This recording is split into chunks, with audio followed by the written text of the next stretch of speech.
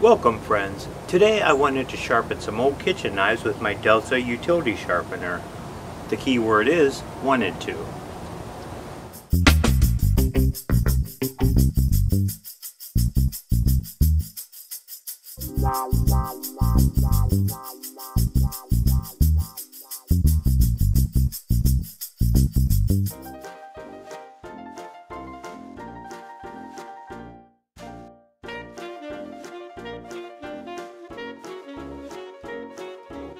We have our front and rear tool rest using a hex key or Allen wrench to tighten.